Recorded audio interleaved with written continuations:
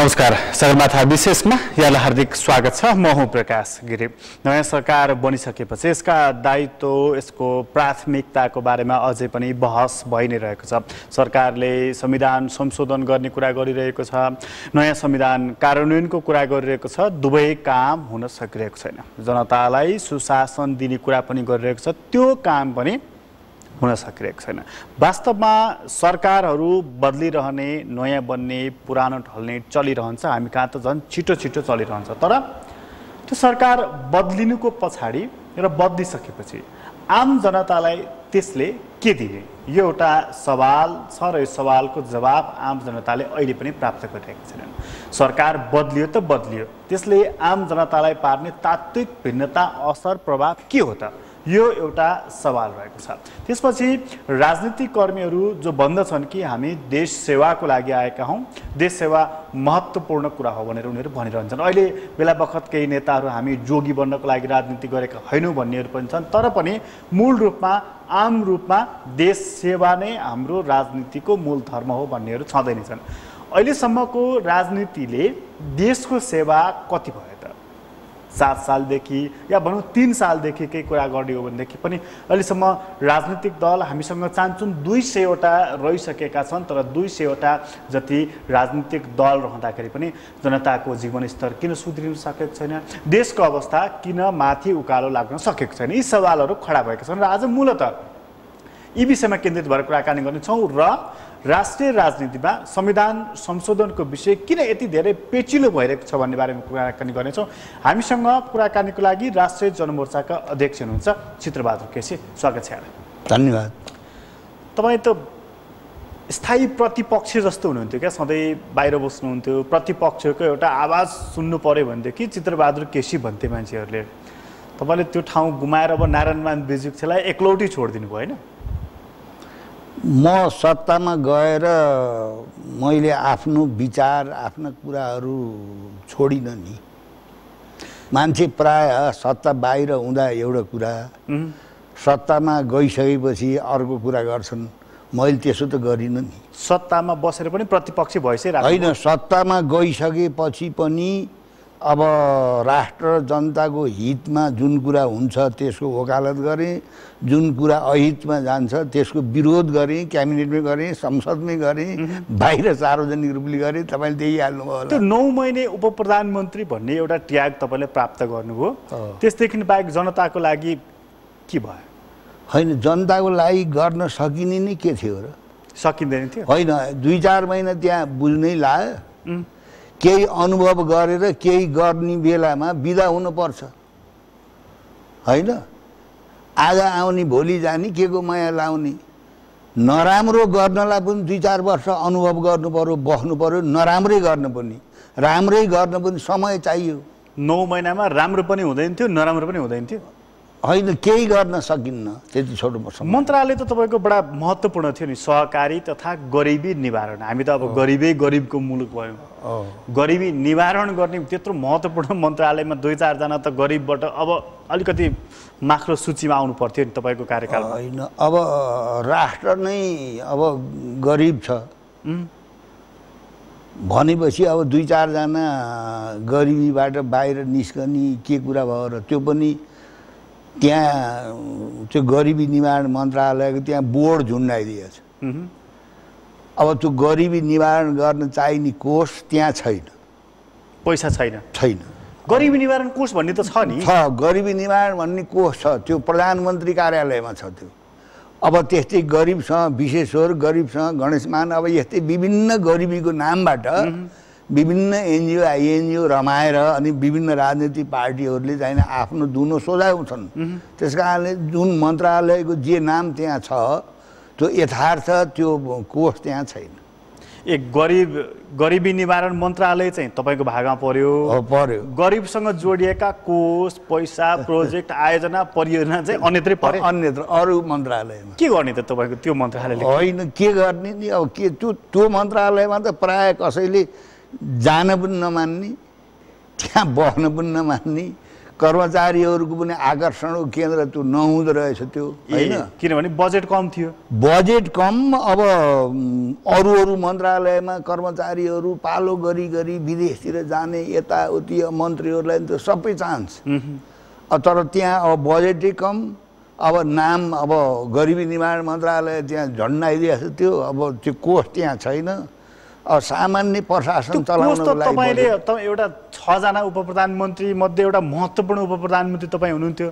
प्रधानमन्त्रीसँग छलफल गरेर होइन यो गरिबी निवारण मन्त्रालय अन्तर्गतै हुनुपर्छ गरिबी निवारण कोष त भन्न सक्नुहुन्थ्यो नि? मैले भनेन हुँ।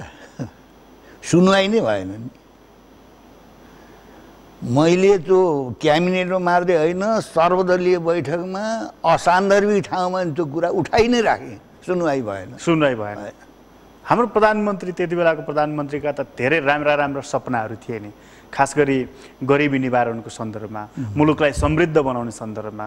तपाईँले त्यति जायज कुरा माग्दा किन सुनवाई भएन सर? त्यो किनभने पहिलेदेखि नै अब ठुलो रकम दाताहरूले पनि अब हामीले चाहिँ गरिबी निवारण गर्न दिएको कोष सम्बन्धित मन्त्रालय भइसकेपछि त्यही मन्त्रालयमा जानुपर्छ भन्ने दाताहरूको पनि त्यो सुझाव थियो र स्वयं संसदको अर्थ समितिले पनि ती छरिएर रहेका कोही अर्थ मन्त्रालयमा कोही स्थानीय विकास मन्त्रालयमा अब कोही चाहिँ प्रधानमन्त्री कार्यालयमा अब यो विभिन्न मन्त्रालयमा छरिएका यो गरिबीसित सम्बन्धित यो कोष यो सम्बन्धित चाहिँ मन्त्रालयमा जानुपर्छ र एकद्वार प्रणालीबाट त्यसको खर्च हुनुपर्छ र यो छरेर अब केही केही मान्छेहरूले गरिबीको नामबाट चाहिँ फाइदा उठाउन हुँदैन भन्ने कुरा भयो।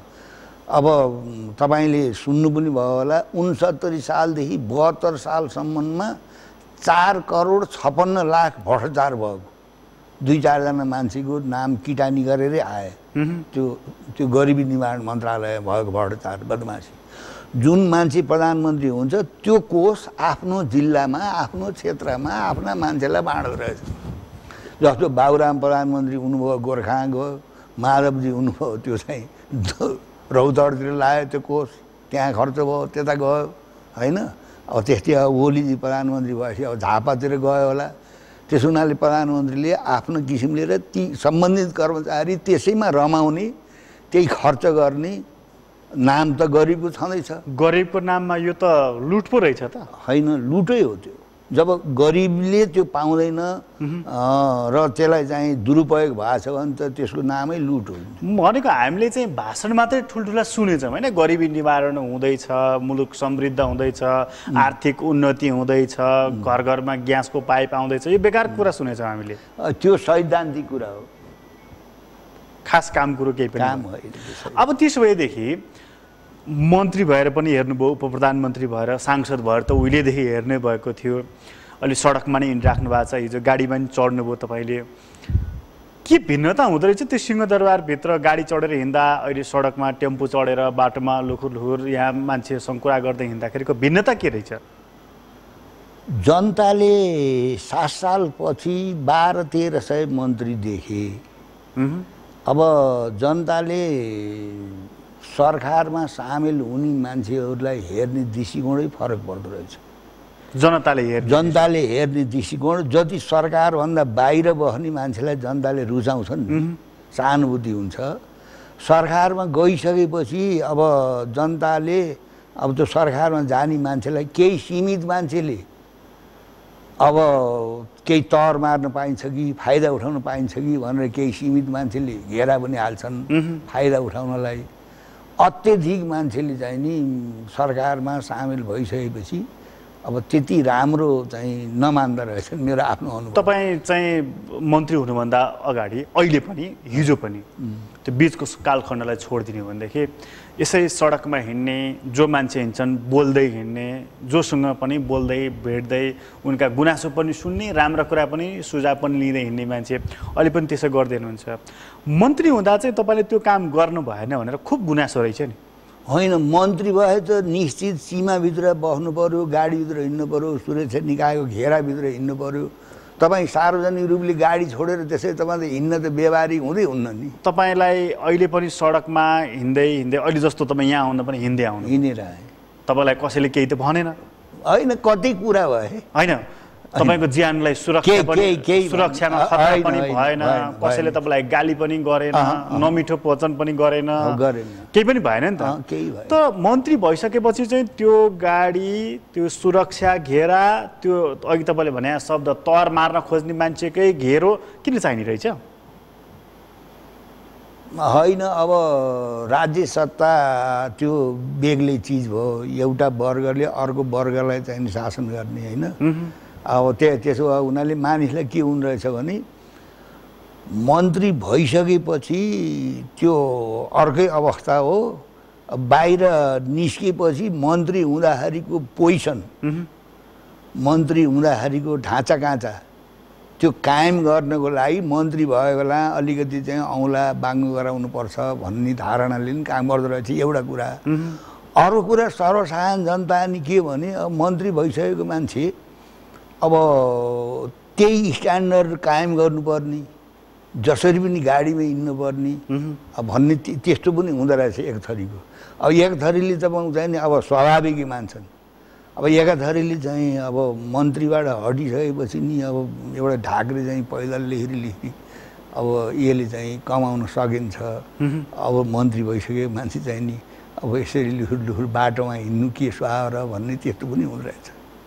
अहिले पनि गाडी चढे हुने नि तपाईँले नसकेर नचढाए त होइन। होइन केले चढ्ने त त्यत्रो पार्टीको अध्यक्ष होइन होइन हुनुहुन्छ पार्टी सांसद होइन हुनुहुन्छ। पार्टी स्वयं कमजोर छ हाम्रो पार्टी अब विचारले ठुलो भयो भने आर्थिक रूपले हामी कमजोरै छौँ होइन अब पैसा आर्जन गर्नको लागि औँलो चाहिँ बाङ्गो गराउनु पर्छ सरकारमा गएपछि। होइन मन्त्री औँलाले तपाईँसँगै मन्त्री भएका मान्छेहरू तपाईँ जस्तै सानो सानो पार्टी भएका मान्छेहरू पनि त गाडी चढेर हिँडेका छन्। होइन त्यो मन्त्री भएका भएर आएको तलबले गाडी चढेका होइनन् उनीहरू।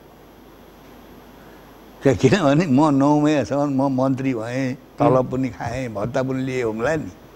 तर चाहिँ त्यो मन्त्री भएर मन्त्री भएका कारणले मन्त्रीका नामबाट आउने त्यो पैसाले मन्त्रीबाट छुटेपछि गाडी चढ्न त्यो पहिलेको जो रवाफ हो मन्त्री छँदाखेरिको त्यो कायम हुँदै हुन्न मन्त्री भइसकेपछि त्यो औँला चाहिँ माग्नु गराउनुपर्छ। जनताको अहितमा राष्ट्रको अहितमा चाहिँ काम गर्नुपर्छ गलत फाइललाई सदर गर्नुपर्छ। ती जो गाडी चढेर हिँडे ती गलत काम गरेर प्राय प्राय चाहिँ सोझै किसिमले कि त उसको बाबुबाजेको पैतृक सम्पत्ति हुनु पर्यो त्यसले नि कति कि- धान्छ कि कि चाहिँ पार्टीको अलिकति आर्थिक चाहिँ अवस्था राम्रो हुनु पर्यो नत्र भने सिधा सादा किसिमले मन्त्रीबाट हटिसकेपछि जो त्यो गाडी चढेर हिँड्न चाहिँ पुग्दैन त्यो मैले त्यही अनुभव गरेँ। तिस चालिसौँ पचासौँ वर्षदेखि तपाईँ जुन राजनीति गरिदिनुहुन्छ नि यो कम्युनिस्ट राजनीति। यो सर्वहारा वर्गको अधिनायकत्वको लागि होइन त। उनीहरूको अवस्था सुध्रियोस् र यो वर्गविहीन समाज बनोस्। त्यो कार्यान्वयन गर्ने ठाउँसम्म पनि पुग्नुभयो भनेको कार्यपालिकाको एउटा उप प्रधानमन्त्री भने त त्यो ठाउँसम्म पनि पुग्नुभयो। त्यो त्यो ठाउँमा त्यो ठाउँ न हो त्यो त। त्यो त्यो त्यस्तो गरेर अब आमूल परिवर्तन पछि त्यहाँ गएको त होइन। तर पचास वर्ष अघि तपाईँले त्यहाँ पुग्न पाए सिंहदरबारमा पुगेर एकचोटि खुट्टा हल्लाउन पाए ठिक लाउन सकिन्थ्यो भन्ने त सोच्नु भएको थियो होला। होइन यही होइन होइन। राणाकालमा तपाईँ हामी अब जानै सक्दैन थियौँ पञ्चायत कालमा नि पञ्चायतको स्तुति गाएर अब एउटा जनावरको रूप लिएर पञ्चायतलाई टुप्पीदेखि पैदलसम्म घसेर राजाको स्तुति गाएर तपाईँ जान सक्नुहुन्थ्यो। बौद्धल आएपछि अब जनताको कमसेकम समर्थनबाट त्यहाँ जाने हो। तैपनि मैले यहीँ तपाईँसँग भने यो त्यस्तो चाहिने अब फाउन्डेसनै चेन्ज भएको व्यवस्था होइन यो।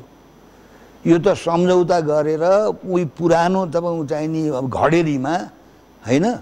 त्यो पुरानो घडेरीमा टालटुल गरेको व्यवस्था हो यो। भनेको त्यो मन्त्री हुनु अगाडि नै तपाईँलाई थाहा थियो गएर त्यहाँ गएर केही गर्न सकिन्न भन्ने कुरा? थाहा थियो।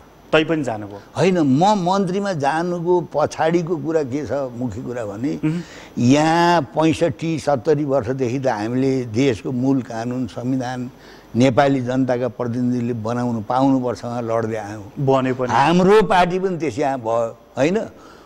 बन्यो पनि। अब त्यो बनाउनको लागि पनि हाम्रो प्रयत्न भयो होइन?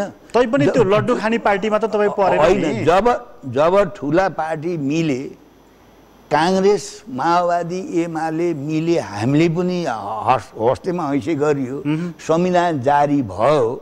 संविधान जारी भएपछि एउटा चाहिँ ऐतिहासिक विजय नेपाली जनताको भयो भन्ने हामीलाई लाग्यो। अब यो लागू गर्न दिन्नन् जसले जारी गर्न नदिनलाई चाहिने अब घुँडा टेकेर बसेको छ यसले कार्यान्वयन पनि गर्न दिन्न। त्यसो हुनाले यो चाहिँ गणतान्त्रिक संविधान कार्यान्वयन गर्नको लागि मद्दत गर्नु पर्यो भन्ने चाहिँ सल्लाह आयो। त्यस भएर पार्टीले निर्णय गरेर संविधान गणतान्त्रिक संविधान कार्यान्वयनको लागि सरकारमा सामेल हुनुपर्छ भन्ने पार्टीले निर्णय गर्यो। त्यस आधारमा सरकारमा सामेल भइयो। त्यस आधारमा सरकारमा सामेल हुनुभयो। संविधानको कार्यान्वयन त भएन। पुरै भइसकेको छैन। अब तपाईँ जानुको के सार्थकता रहेर बिटुलो मात्रै हुनुभयो नि तपाईँ होइन होइन। त्यहाँ गएर भ्रष्टाचार गर्नु अब राष्ट्र र जनताको अहितमा काम गर्नु अब सत्तैमा बस्नको लागि चाहिँ सौदाबाजी गर्नु अब होइन? अब त्यस्तो गरिएन नि। त्यहाँ गएर आफूले जे गर्न कोसिस गरियो गरियो। बदमासले केही मतलब चाहिँ। त्यो एउटा लाल गठबन्धन बन्दै थियो एउटा लाल म पनि गएर जोडिहालौँ भनेर होइन होइन। लाल गठबन्धनै होइन त्यो। त्यो त्यो बेकारको कुरा हो होइन? अब जसले चाहिँ अब भिन्न भिन्नै मत राख्नेहरू त्यहाँ सरकारमा हुन् अब आफ्नो भिन्न मत राखेर पनि संविधान कार्यान्वयन गर्नुपर्छ गणतान्त्रिक संविधान भन्ने हिसाबले त्यो सरकार बने हो। अब त त्यो भिन्न मत पनि तपाईँको रहेन होला नि। केमा? संविधान जारी भइसक्यो। अब हिजो तपाईँ भन्नुहुन्थ्यो नि सङ्घीयता यो मुलुकको लागि फाप हुँदैन अब फापै हुन्छ यो पेन्डोराज बक्स खुल्यो भन्नुहुन्थ्यो नि। अब त यो बा यो वाक्य छोड्नुभयो होला। खुल्यो कि खुलेन पनि पेन्डोराको बक्स? राष्ट्रिय जनमोर्चाले जे भन्ने आएको थियो त्यो चाहिँ व्यवहारमा कसरी प्रमाणित हुँदै गएको छ? तर तपाईँ स्वयं पनि त संविधान कार्यान्वयन गर्नको लागि भनेर सरकारमा जानुभएको रहेछ अब अहिले पनि सांसद हुनुहुन्छ कार्यान्वयन गर्नको लागि नै अगाडि बढ्नुहुन्छ होइन? तपाईँलाई थाहा छ कि यो विषको बट्टा हो भनेर अनि फेरि त्यही खान त? होइन खाना होइन। त्यो म चाहिँ मन्त्री भएपछि यो सङ्घीयता ठिक छ यो चाहिँ यो व्यवहारिक छ नेपालको सन्दर्भमा भनेको सुन्नुभयो र कहीँ। संविधान नयाँ संविधान जारी गरेकै दुई दिनमा चाहिँ अब नाकाबन्दी गरे। त्यो संविधान जारी गरेकै सत्र दिनभित्र जनसङ्ख्याका आधारमा निर्वाचन क्षेत्र बनाउनुपर्छ भनेर प्रस्ताव आयो। त्यसमा म आफै पनि बसेको सरकार सामेल भयो। मैले त मानिनँ नि। के के भने? सङ्घीयतालाई तपाईँले अहिले पनि स्वीकार्नु भएको छैन? मै देशैले स्वीकार्यो अरे होइन त्यो केही सीमित मान्छेले होइन, चाहिँ स्वीकार्यो देशले त होइन स्वीकार्यो। होइन व्यवहार खै त? सिद्धान्त त सिद्धान्त त सङ्घीयता कार्यान्वयन भइसक्यो सङ्घीयता आइसक्यो लगाइसक्यो भन्छन् नि। यही हो र अहिलेसम्म प्रदेशको सीमाङ्कन नमिल्ने उन्नाइस उन्नाइस वर्षसम्म स्थानीय निकाय चुनाव पनि हुन नपर्ने अनि सङ्घीयता लागू हुने अनि सङ्घीयताको भजन गाइरहने त्यस हुनाले सङ्घीयताले पार्नु अप्ठ्यारो यो मुलुकलाई पार्यो। अब त्यस भएदेखि यो सङ्घीयता कार्यान्वयन हुँदैन भन्ने अझै लाग्दैछ तपाईँलाई? भएकै छैन सङ्घीयता कार्यान्वयन। पर्सि चैतमा चुनाव भएपछि त विधिवत रूपमा कार्यान्वयन हुन्छ नि। होइन चुनाव हुने छाँड देख्नु भएको छ र मैले तपाईँलाई प्रश्न गर्छु। देख्नु भएको छ? काँकरभिट्टादेखि मयरनगरसम्मको भूभाग पाहाडबाट चटक्क अलग गर्नुपर्छ स्थानीय निकाय चुनाव गर्नुपर्छ भनेपछि। अङ्गीकृत नागरिक राष्ट्रपति हुन पाउनुपर्छ प्रधान न्यायाधीश हुन पाउनुपर्छ सेनापति हुन पाउनुपर्छ प्रधान सेनापति हुन पाउनुपर्छ भन्ने ती ती स्वर तपाईँले सुनिरहनु भएको छैन। सुनेको छु तर म। अर्को के पनि सुनिरहेको छु भने तपाईँ उप प्रधानमन्त्री भएकै सरकारले हामी जसरी पनि चुनाव गराउँछौँ चुनाव हुन्छ भनेको पनि सुने हो नि मैले। होइन हामीले चुनाव बनाउने नै योजना थियो। त्यो बनाउने। त्यो मधेसवादीहरूले नमाने पनि। होइन हामीले संविधान चुनाव बनाउने नै तपाईँको चाहिँ कार्यक्रममै आएको थियो नि। आयो कार्यक्रम आयो तर। चुनाव त हुँदै थिएन नि। होइन अब त्यो त अब हामीले चुनाव गराउन प्रयत्न गर्थ्यौँ। अब के हुन्थ्यो त्यो त भन्न सक्थ्यो त्यो शाही सरकारले गराएको स्थानीय तहको चुनाव जस्तो। जस्तो हुँदो पनि। त्यही पनि चुनाव गराउने चाहिँ कार्यक्रम आएको थियो। त्यति बेला पनि त त्यो सरकारले गर्व गरेको थियो नि राजाले होइन? हामीले मेयर चुन्यौँ उपमेयर चुन्यौँ के के के के भनेर। तपाईँले मानिदिनु भएन त्यति बेला। नत्र त त्यसले वैधानिकता पाउँथ्यो नि त्यति बेलै। होइन पाउ पाउँथ्यो कि पाउँदैन थियो यति बेला यति यति भ्याकुम त हुन्थेन नि। होइन तपाईँको चाहिँ नि त्यो राजाले सम्पूर्ण चाहिँ प्रजातान्त्रिक हक अधिकार खोसेर जसरी उनले गराउनु खोजेको थिए त्यो त्यो त्यो चाहिँ राजाको कदमसित हामी चाहिँ टोटल विरोधमै गयो। अहिले पनि नि अब तपाईँ सडकमा रहेको अनुभव पनि तपाईँसँग रह्यो सरकारमा गएको एउटा सानो अनुभव पनि रह्यो। मान्छेहरू चाहिँ के भन्न थाल्यो भने हुन त यो निराशाको अभिव्यक्ति पनि होला त्यसो भन्न पनि सकिन्छ। तर बरु पहिल्यै ठिक थियो पार्टीहरूले त साह्रै बिगारे साह्रै खतम पारे जनताको स्तर त सुध्रिएन भन्न थाले। त्यसो भन्छन्। राणा शासनमा बसेकाहरू राणा शासनमा तर मारेकाहरूले जब सात सालपछि नयाँ परिवर्तन आयो राणा शासन ठिक थियो भन्छन्। त्यस्तो त भइरहन्छ। के हुन्छ भने द्वालो थुन्दाखेरि तपाईँको चाहिँ रहमा पानी जमिया हुन्छ। अब द्वालो पुरै सुकेपछि नि त्यहाँ माछा बसिराखेका हुन्छन्। फेरि चाहिँ पानी यसै आउँछ भनेर। त्यस कारण एउटा प्रणाली गइसकेपछि त्यो प्रणाली ठिक थियो।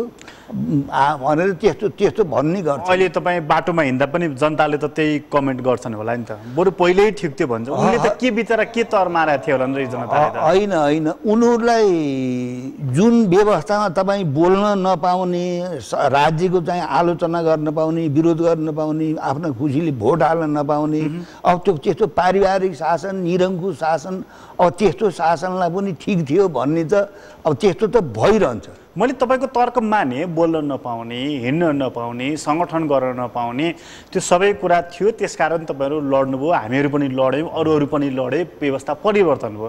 त्यसपछि पनि जनताको जीवनस्तरमा कुनै सुधार आउनु पर्दैन र? पर्छ। आएको छ अहिले तपाईँ देख्नु होइन होइन। जनताको जीवनमा सुधार आएको छ मैले भनेकै छैन। जनताको जीवनमा सुधार आउन सकेको छैन।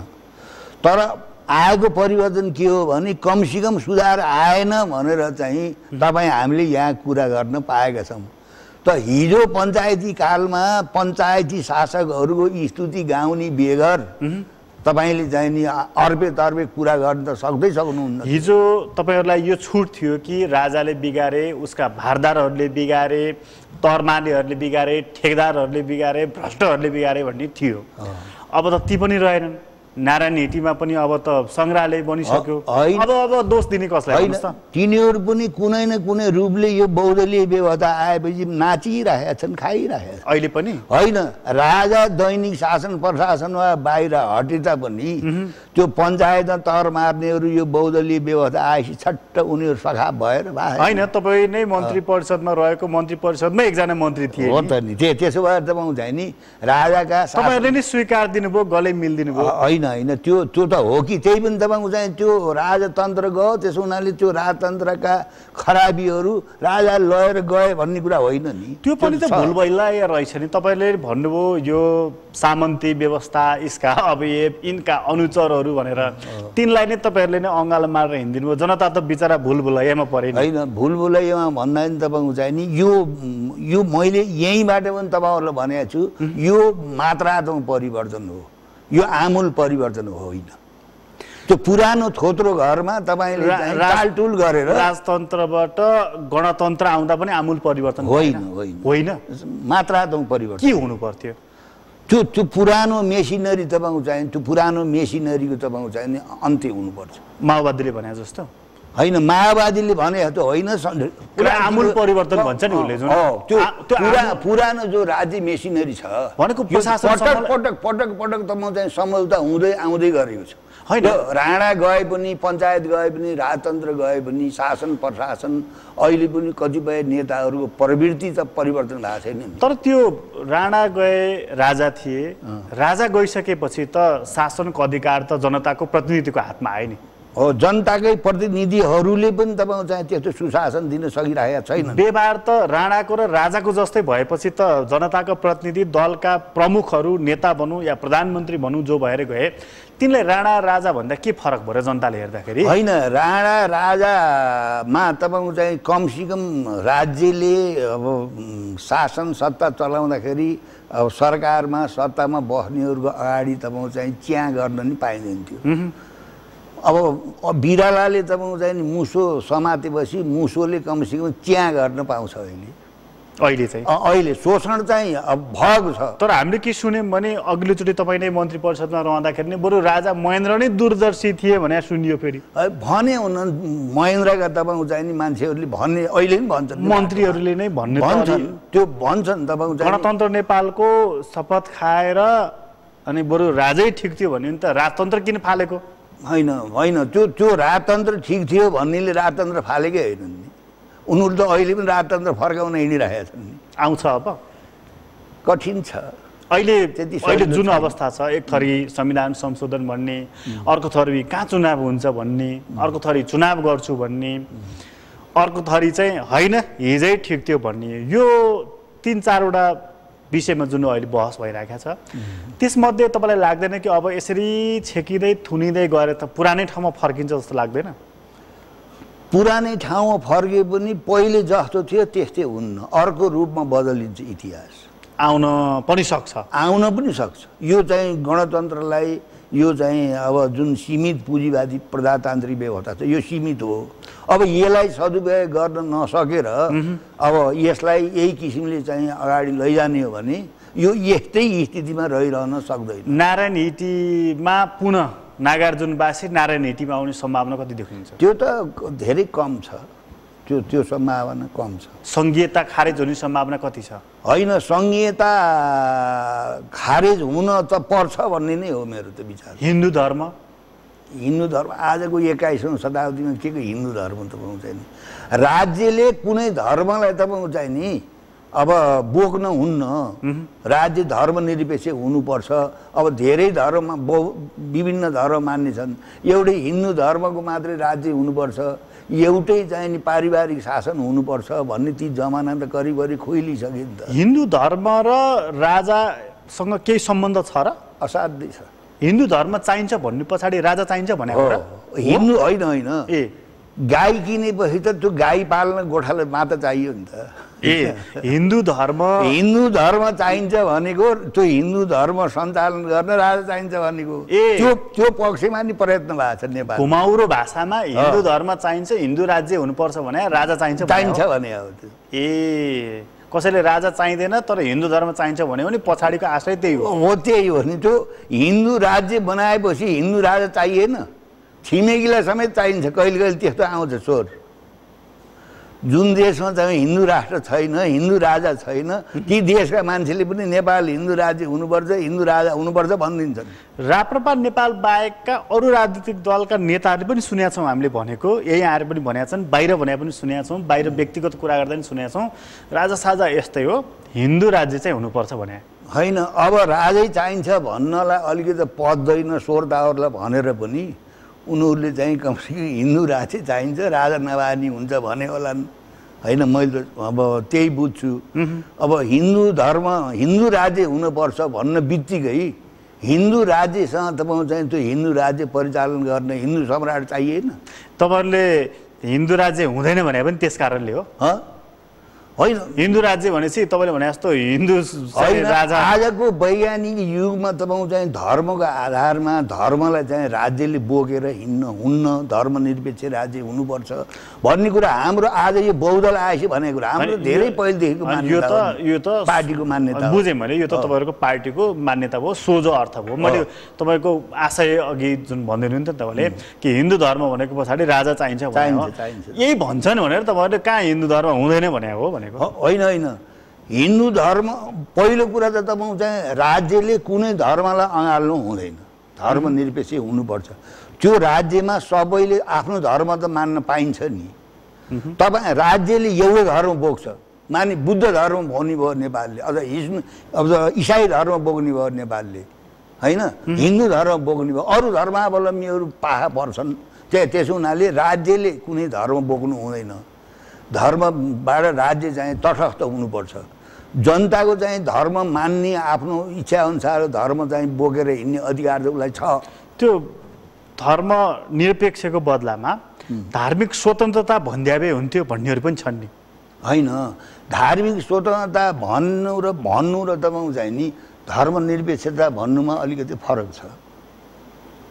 धार्मिक स्वतन्त्रता भनेपछि तपाईँको चाहिँ अब भन्नु न धर्मनिरपेक्षता भनिसकेपछि पनि धर्मनिरपेक्षता भनेको पहिलेदेखि मान्दै आएको धर्म भने त्यो धर्मनिरपेक्षतालाई तोडमोड गरेर संविधानमा सामेल गरेको छ। ढुक्कसँग तपाईँको चाहिँ नेपाल चाहिँ धर्मनिरपेक्ष राज्य हो भनेर चाहिँ लेख्न सकिरहेको छैन। अब धर्मनिरपेक्ष भन्नाले सनातनदेखि चल्दै आएको धर्म भनेर धर्मनिरपेक्षतालाई तपाईँ चाहिँ तोडमोड गरेर राखिएको छ अब अन्त्यमा सोधेँ मैले अब के त हाम्रो मुलुक कता जाँदैछ? समृद्धितर्फ जाँदैछ कि अहिले हामीले चर्चा गरे जस्तो बडा अलमलमा गएर पछाडि फर्किने कि अगाडि जाने कि के गर्ने भन्ने अलमलमा कता जाँदैछ? अहिले अब असाध्य अप्ठ्यारो स्थितिमा छ। अब सबभन्दा पहिलो कुरा राजनीतिक पार्टीहरूले अब सत्ता प्रदान भइरहेको छ सत्ताको लागि तपाईँको चाहिँ नि अब जुनसुकै सम्झौता गर्न जस्तोसुकै तपाईँको चाहिँ नीति अपनाउन पनि राजनीतिक पार्टीहरू तयार भइरहेका छन्। अब यसले गर्दाखेरि मुलुकको स्थिति चाहिँ त्यति राम्रो चाहिँ छैन। अब यो प्रतिकूल स्थितिलाई नेपाली जनताले लडेर अनुकूलतामा बदल्ला बेग्ली कुरा हो। तर राजनीतिक पार्टीहरूले राणा फाले राजा फाले पञ्चायत फाले संविधान बनाए तर पनि अब सत्ता र शक्तिकै लागि देशको राष्ट्रियता सार्वभौमता र अखण्डतासित अहिले पनि सौदाबाजी गरिरहेको छ। यो गलत हो। यसले यसले गर्दाखेरि देशको अस्तित्वमै प्रश्न चिन्ह देखिरहेको छु मैले त। हस् यहाँलाई धेरै धेरै धन्यवाद। धन्यवाद। आदरणीय दर्शकबिन तपाईँलाई पनि धन्यवाद। आज हामीले राष्ट्रिय जनमोर्चाका अध्यक्ष चित्रबहादुर केसीसँग कुराकानी गरेका थियौँ। उहाँसँगको कुराकानी अहिलेलाई यति नै। सगरमाथा विशेषबाट म प्रकाश गिडा बिदा दिनुहोस्। सगरमाथा टेलिभिजन हेर्दै गर्नुहोला।